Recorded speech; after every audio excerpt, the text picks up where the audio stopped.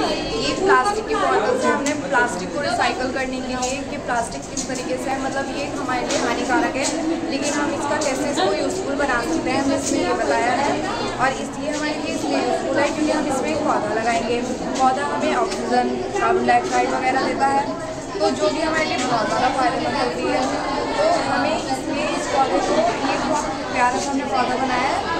इससे हमारी प्लास्टिक भी यूज़ हो रही है। और हमारे पौधे का भी काम। मतलब दोनों तरफ़ से ये हमारे लिए बेनिफिट है। तो हमें इसका यही पर्पज़ है हमारा कि हम ऐसा करके प्लास्टिक भी यूज़ कर लें और हम मतलब हमारे लिए भी कोई यूज़फुल हो इसका मेन पर्पज़ यही है।